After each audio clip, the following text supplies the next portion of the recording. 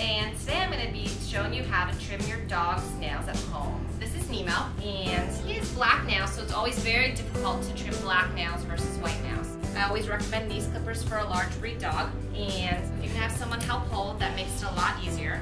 You grab the paw and then you just cut the little tips off his or her nails.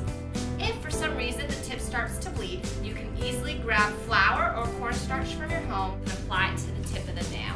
You want to make sure you cut all of the nails because you never want to get an infection or a nail torn off of your dog.